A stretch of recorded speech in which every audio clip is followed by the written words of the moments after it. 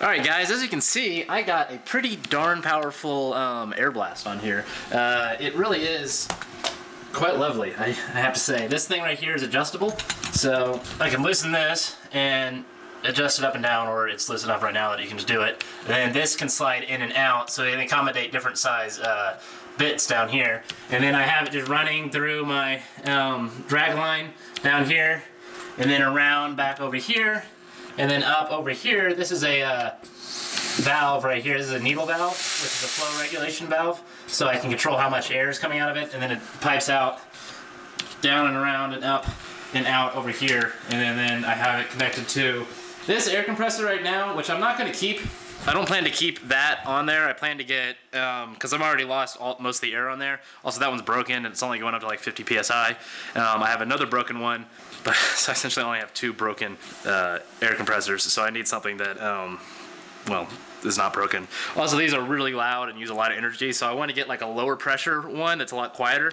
They have them that go up to like 30 to 40 psi, which should be more than enough to pump a lot of air through this. So that's my plan. Uh, hopefully, I'm planning on maybe doing that with some of the money I get from a stimulus check.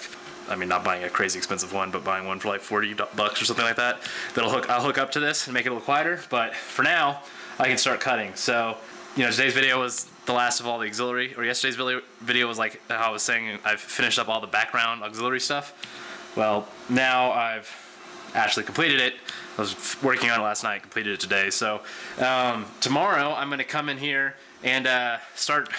Well, I, I got to do some CAD and some and stuff, but hopefully I'll start making some wood chips tomorrow, uh, making some fixturing for the vise. If not, then you know hopefully the day after that. But I'm gonna start working on that maybe today, doing some of the CAD in CAM. But if not today, then uh, I'll work on it tomorrow, and we should be making chips, big chips soon. Um, I'm gonna make take all that aluminum right there. Well, those two big pieces of aluminum back there and make a uh, fixture plate for this thing, and then some vices that go on that, and then this thing is gonna be so badass. And then after that, I have one little project uh, that I'm doing to make some money, and then I'm building an Iron Man suit. It's coming very soon, very soon. Also, this machine is starting to look really badass. It's looking good. Excited. You guys are great. Bye.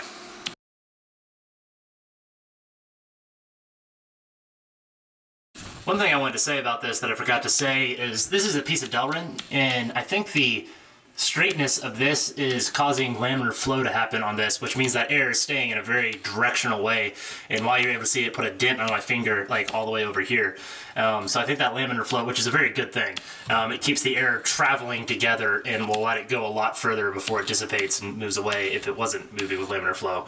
I mean, I don't have a way of testing that. That's just my guess, but it's kind of what it feels like to me. And the fact that it's coming down a very straight, very clean, very low friction surface all the way through is probably what's allowing that to happen.